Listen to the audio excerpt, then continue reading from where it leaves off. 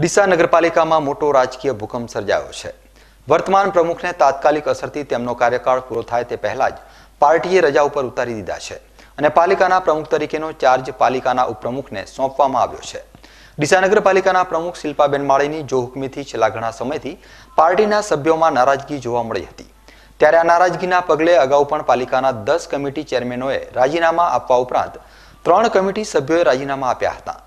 પાલિકાના સદસ્યો અને પાલિકા પ્રમુખ વચ્ચે ચાલી રહેલા વિવાદના પગલે ડીસા નગરપાલિકાના વિવાદને શાંત પાડવા પ્રદેશ ભાજપની ટીમ પણ ડીસા પહોંચી હતી અને બંનેના નિવેદનો સાંભળ્યા હતા.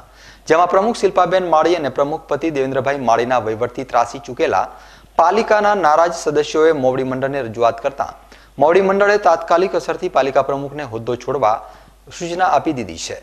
જેથી શિલ્પાબેન માળીને રજા ઉપર ઉતરવાની ફરજ પડી છે. અને પાલિકા પ્રમુખ તરીકેનો ચાર્જ કાંતિલાલ સોનીને સોંપવામાં આવ્યો છે. આ અંગે કાંતિલાલ સોનીનો અમે સંપર્ક કરતા તેમણે જણાવ્યું હતું કે તેઓ આગામી હોળીના તહેવાર બાદ વિધિસર પાલિકા પ્રમુખ તરીકેનો ચાર્જ સંભાળશે. ત્યારે ડીસા નગરપાલિકાના પ્રમુખ અને પ્રમુખ પતિની જો હુકમીથી ડીસા નગરને પણ છુટકારો મળ્યો છે. ડીસાથી બીકે ન્યૂઝ ચેનલ માટે હરેશ ઠાકોર.